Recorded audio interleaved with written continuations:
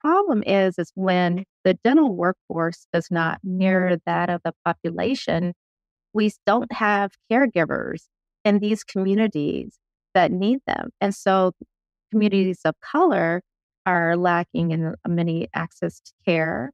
There's a disparity in the healthcare that they do receive, you know, the cultural competency.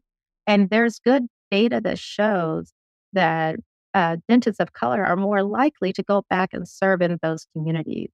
And so that's why it's a problem. And as Jenna said, we all take an oath to, you know, serve the public and do no harm.